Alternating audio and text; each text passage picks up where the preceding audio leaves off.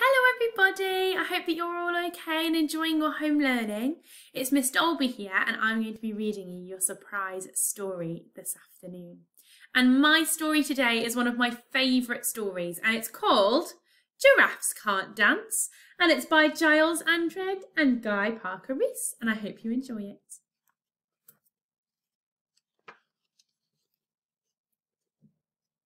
Gerald was a tall giraffe whose neck was long and slim, but his knees were awfully bandy and his legs were rather thin. He was very good at standing still and munching shoots off trees, but when he tried to run around, he buckled at the knees. You see, oh no, he's fallen over. Now, every year in Africa, they hold the jungle dance, where every single animal turns up to skip and prance. And this year, when the day arrived, poor Gerald felt so sad because when it came to dancing, he was really very bad. You see all the animals.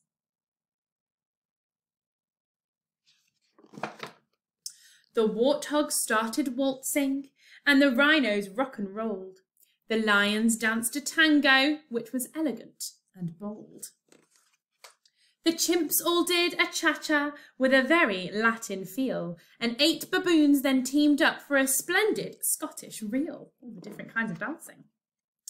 Gerald swallowed bravely hmm, as he walked towards the floor.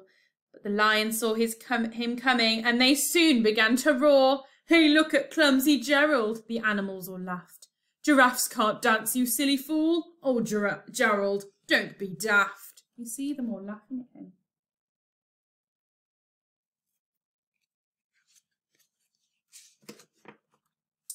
Gerald simply froze up. He was rooted to the spot. They're right, he thought. I'm useless. Oh, I feel like such a clot. So he crept off from the dance floor and he started walking home. He'd never felt so sad before, so sad and so alone. Then he found a little clearing and he looked up at the sky. The moon can be so beautiful, he whispered with a sigh. Excuse me, coughed a cricket, who'd seen Gerald earlier on, but sometimes when you're different, you just need a different song. Listen to the swaying grass and listen to the trees. To me, the sweetest music is those branches in the breeze. So imagine that the lovely moon is playing just for you. Everything makes music if you really want it to. With that, the cricket smiled and picked up his violin. Then Gerald felt his body do the most amazing thing. His hooves had started shuffling, making circles on the ground. His neck was gently swaying and his tail was swishing round. Dancing.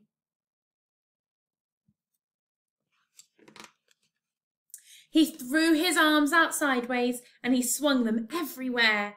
Then he did a backward somersault and leapt into the air. Gerald felt so wonderful, his mouth was open wide.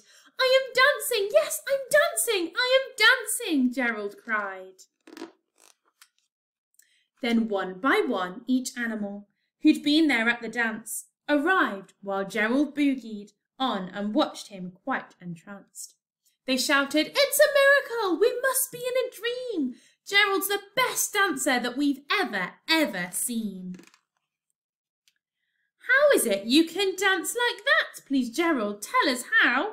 But Gerald simply twizzled round and finished with a bow. Then he raised his head and looked up at the moon and stars above. We all can dance, he said, when we find music that we love. I hope you enjoyed that story. I love it because it's all about music, dancing, and doing what you love. Have a wonderful rest of your day, and we'll see you soon. Bye.